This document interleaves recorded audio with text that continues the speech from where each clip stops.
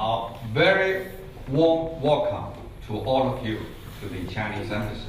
We are very pleased today to uh, gather here with the three English, uh, British, and Chinese schools